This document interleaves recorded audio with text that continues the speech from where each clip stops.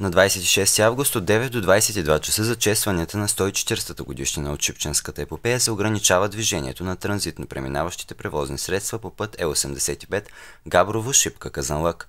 Транзитният трафик ще се пренасочва по проходът на републиката както следва.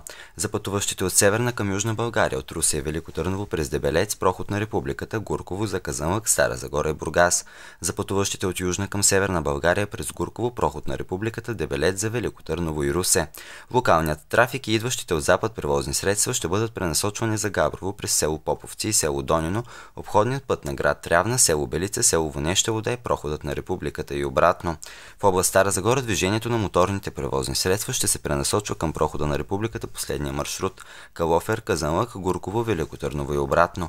Пренасочването ще става при пътен възел Мъглищ. През прохода Шипка ще бъдат пропускани само автобуси и автомобили с участници и гости в събитието, както и организираният междуградски автомобилен транспорт.